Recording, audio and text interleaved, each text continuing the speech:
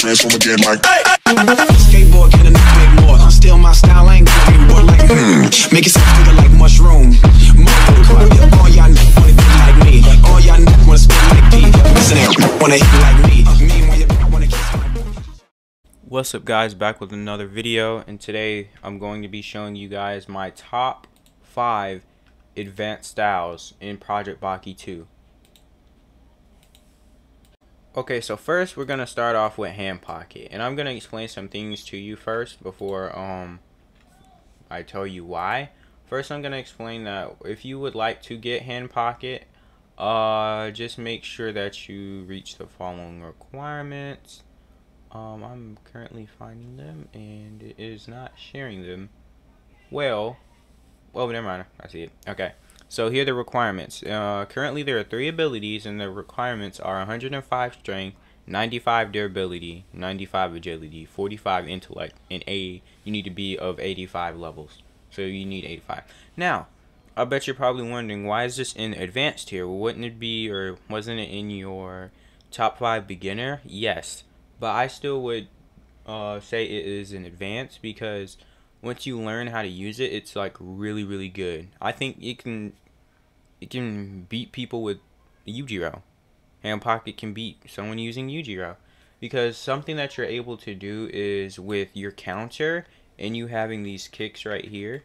Uh these clicks. Oh, basically swift attack. You having swift attack in the counter will allow you just to stand in the same spot.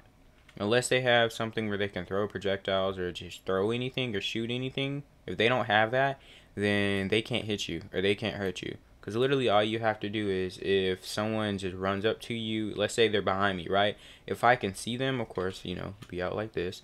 If I probably wouldn't be in this much, I'd probably be in like this. If I see them dash towards me, pop it and then turn around and they just automatically get hit into it.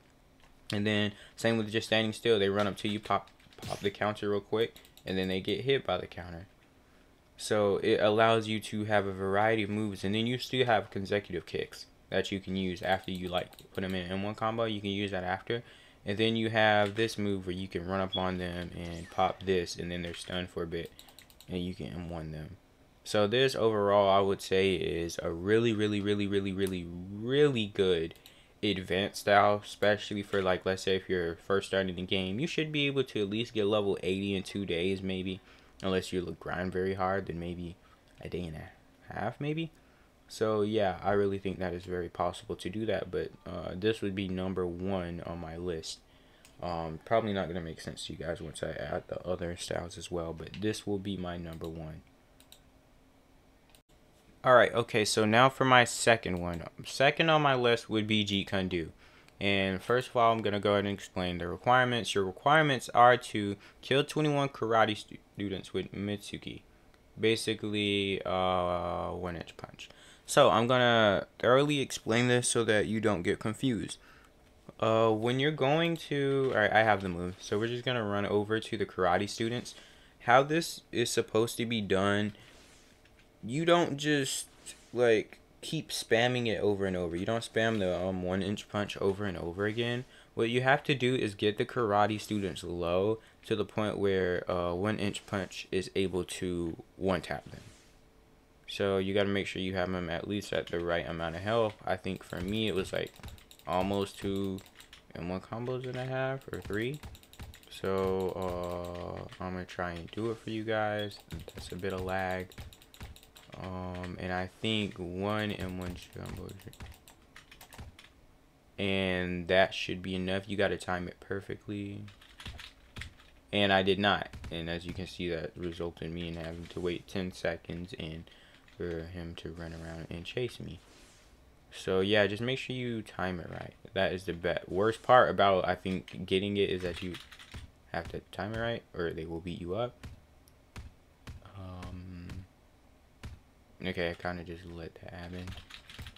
But yeah, as you can see, keeps breaking it. But yeah, two M1s killed him anyway. But alright, I'm going to go ahead and show you the requirements. Well, that was one of the requirements, but this is what you'll have to, um, other than that, this is what you'll have to do to be able to use it, or get it. 350 strength, 420 durability, 350 agility, 250 intellect, and you need to be level 400. Now, I'm going to go ahead and say this, probably should have said it in my first one, is these are the requirements to get the style, not the moves. The requirement to get the moves will always be more than the requirement to get the style. So, for example, um, I, I don't have an example, so I can't necessarily say that. Uh, but yeah. So, again, I'm gonna explain why I think it deserves my second spot. Is because Jeet Kune Do is very hard to not die from. You, if you find someone that is using Jeet Kune Do, you will more than likely die, and I'll explain why. First off, they have the crippling move, which literally allows you to ragdoll someone. So you just M1 and them, got them in a nice M1 combo. And then if you already have this decent um, M1 damage, the cripple move is even worse. For example, I'm going to go over here to this slug and try it out on him. And show you guys. Okay. For example, uh, this is what it allows you to do. So you got him in a nice M1, right? Oh, I didn't actually hit him with that. Wow. But yeah, basically you'd have him a nice M1. I'm gonna go ahead and kill this one. Use one inch punch. Oh, I, I just literally just punched him that time. But uh, it has cooldowns, but at the same time, if you're really good at M1ing and you're not just like move based, like you just really don't need moves to win a fight, you should be fine. But if you're fighting someone that just uses moves like crazy, uh, that kind of sucks. But alright, so we're to go ahead and come over here. As you can see, you can still M1 them and then it allows you to get a whole nother M1 combo off. M1, one inch punch, they're dead. These are my stats, by the way. But as you can see, very effective, especially in combat. Because I'm going to go ahead and show you guys one move that is just off the charts. Okay, so move and I'm out of the M1 combo. You can you can do that with Sam as well. You can do that with Jack Frost for if you're fighting someone with Jack Frost, you can't get out of their combo using that. And then you get this kick. He's dead. But they basically someone running at you or you're running away, you can use that, hit them, they get ragdoll and you can keep running. That's if someone's messing with you. But um yeah, you can literally do that. This style is so fun to use for the simple fact that it's kind of like fight back. It's literally just giving fight back activity just from you using it. So yeah, ah, that's why it got my second place. Now on to the third one. All right, next up, coming up on my number three would be Tai Chi. And if you would give me a second, I will tell you the requirements of Tai Chi. Now I'm gonna go ahead and start state off that Tai Chi is very, very, very fun to use but it, it can cost. I mean, like a lot. For example, if you don't do that much damage, Tai Chi, it it's okay, but it may not be good good for you at PvP. Now for uh, grinding, it is really good because it has a move that enables your or disables your opponent's um hard like attacks and what I mean by that is it makes it less damaging. They don't do as much damage as they usually do with the move. So first you're to need, uh, how you obtain this is you need to meditate for 5 minutes. So sadly people on mobile and PC are the only ones that are able to get this because you do need the command. So just slash E meditate and you just be like this for 5 minutes. I just set a 5 minute timer, waited a few seconds and then boom, I got it. And I was able to get it. So first off, I'm to go ahead and go show you the moves up here the first move just amazing, of course, the chi blocker. And of course your arm glows up as the color that you have. And then of course the M1s. The M1s are also really good as well. Then you have the second move, it hits you. That one does like a lot of damage. And then you have the kick. And I'm Okay, no, the kick is uh, um you do have the M1 and use the kick. I thought it was a flying kick like um uh Jeet Kune Do. And then the last move is actually a move I really like. It's actually a stop. A stomp. So if they try to run up to you, do something, you can just do that. They may might dash back, so it may make them dash back, and then you'll have in lag, and they'll M1 you. You just have to think about if it's the right thing to do in the situation. But this has my third spot because again, it like the other style Jeet Kune Do. This is fun to use, and it's kind of like the definition of fight back, especially against someone that um has some very powerful M1. So you can just hit them up with this, and then of course, chi blocker blocks their chi. They don't do that much damage. Oh, my friend James is here. But yeah, Tai Chi would have my third spot. And yeah, let's move on to the next one.